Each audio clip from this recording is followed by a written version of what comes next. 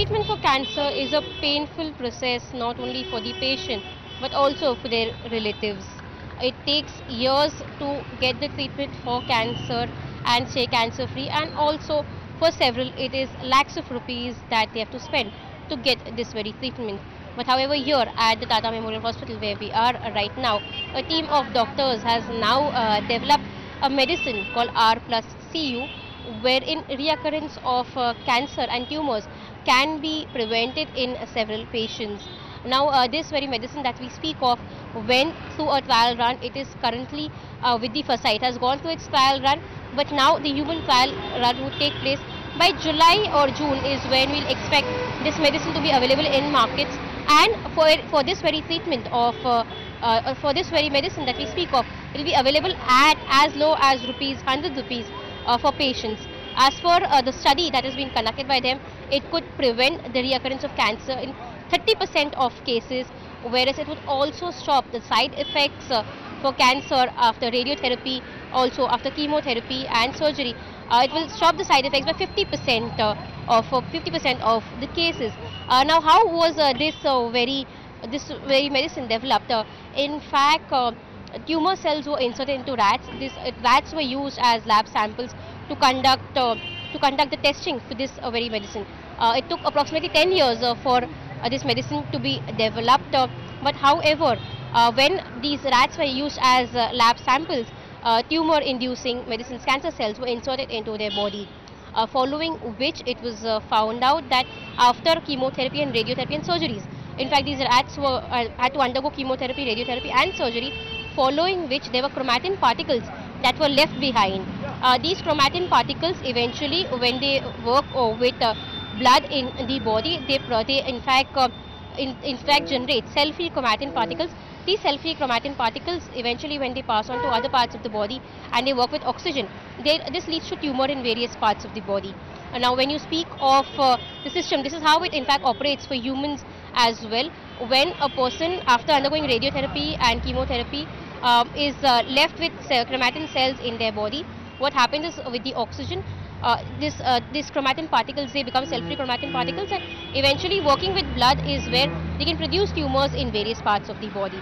However um, following which to ensure that uh, the reoccurrence of cancer does not uh, take place uh, reversol is uh, the kind of medicine which along with copper and uh, pro-oxidant medicine was uh, used and this provided this helped in preventing uh, the recurrence of cancer in these several cases basically this very medicine helps in helps uh, in ensuring that there, there's no metastasis of uh, the cancer blood so cancer cells that take place in the body. And this is how the entire uh, process for this very medicine has been formulated. Uh, this uh, this medicine is available. It is it is to be consumed orally. And what happens after this is that when it's consumed orally uh, is where it will prevent reoccurrence of cancer in 30% of cases and prevent the side effects of the chemotherapy and radiotherapy in 50% of cases. By June or July it will be available because right now FASA is approving this medicine to be available at over the counter in various chemist stores. तो जैसा कि आपने कहा कि cancer एक अ, अ, जो उसकी संख्या है बढ़ती जा रही है और अब समाज में लोगों को इस बात की जानकारी हो रही है कि हर घर में हर परिवार में हर तरफ़ किसी न किसी को कैंसर हो रहा है और कैंसर के जब इलाज की बात करते हैं तो लोगों को एक मन में डर रहता है कि उसके इलाज बड़े टॉक्सिक होते हैं और उसके बहुत साइड इफ़ेक्ट्स होते हैं। तो ये डर के चलते बहुत सारे मरीज़ कैंसर की जानकारी के बाद इलाज के लिए सामने नहीं आते हैं या इलाज से दूर भागते हैं। तो अब जो है, हम लोगों को जब इस बात का एहसास हुआ कि एक तो मरीजों में जब टॉक्सिसिटी होती है तो उसको कम करने का हमें प्रयास करना चाहिए और दूसरा, लोगों के मन में ये जो डर है, वो टॉक्सिसिटी कम हो जाएगी तो खत्म हो जाएगा। इस विषय से हम लोग कई सालों से, कई दशकों से कैंसर के ट्रीटमेंट के साइड इफ़ेक्ट को कम करने के लिए शोध कर रहे हैं। उसी शोध की कड़ी में ये शोध जो हमने पाया कि अगर हम कॉपर रेस्पेरेट्रॉल मरीजों को दें, ये एक न्यूट्रास्यूटिकल है जो मार्केट में फ़ूड सप्लीमेंट के रूप में उपलब्ध है, लेकिन दोनों को जब एक विशेष मात्रा में साथ में दिया जाता है तो जो कैंसर के इलाज के साइड इफ़ेक्ट हैं, उसमें कमी के हमें बहुत सारे ह्यूमन एक्सपेरिमेंट्स में एनिमल एक्सपेरिमेंट्स में फ़ायदे दिखे हैं। उसको आगे बढ़ाने के लिए हम बड़े रिसर्च कर रहे हैं। तो एक बात तो मैं स्पष्ट कर दूँ कि ये जो हमारा मौजूदा नुस्खा है, वो साइड इफ़ेक्ट्स को कम करने के लिए है। और साइड इफ़ेक्ट्स को कम करने के लिए अगर घरेलू नुस्खा है तो वो सस्ता भी रहेगा। लेकिन जो आपने बात कही कि इलाज बहुत महँगा है, उसके लिए टाटा अस्पताल विभिन्न एंगल्स से प्रयास कर रहा है। जैसे 60 प्रतिशत हमारे जो मरीज़ होते हैं, वो या तो फ्री होते हैं या हाईली सब्सिडाइज होते हैं। जो हमारे प्राइवेट कैटेगरी के पेशेंट हैं, उनको भी ट्रीटमेंट सब्सिडाइज मिलता है।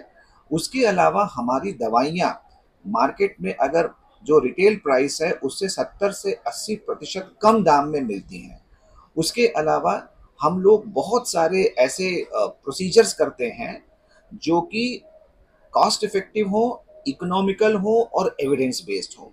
इन तीन चार चीज़ों से करने के बाद हम मरीजों को बेहतर इलाज देते हैं कम पैसे में देते हैं और वैज्ञानिक जो हमारे रिसर्च हैं उससे तर्क संगत जो इलाज होते हैं वही इलाज देते तो ये जो हमारा रिसर्च है अभी प्रिलिमिनरी स्टेज में है सो टाटा अस्पताल एक रिसर्च है मतलब। हमारा कोई कमर्शियल इंटरेस्ट तो होता हम्म। नहीं है इसमें तो हमने ये रिसर्च को उजागर कर दिया है कि भाई अगर कॉपर रेस्पेरेट्रॉल साथ में दिया जाए तो ये एक बहुत बढ़िया एनिमल स्टडीज़ में सेल लाइन स्टडीज़ में ह्यूमन स्टडीज़ में कारगर सिद्ध हुआ है। अब हम टाटा अस्पताल में बहुत बड़े रिसर्च कर रहे हैं और मैं चाहता हूँ कि भारत देश में, विश्व में अन्य लोग भी इस विषय पर रिसर्च करें, क्योंकि हमारा मकसद क्या था इस मीडिया प्रेस रिलीज़ का? कि हम ये जो नुस्खा है पूरे विश्व को दें, विश्व के जितने भी रिसर्चर्स हैं इस पर रिसर्च करें और मरीजों के लिए एक फ़ायदेमंद जो है कुछ जो हो सके, उसको बनाएँ और लोगों में इसको दें।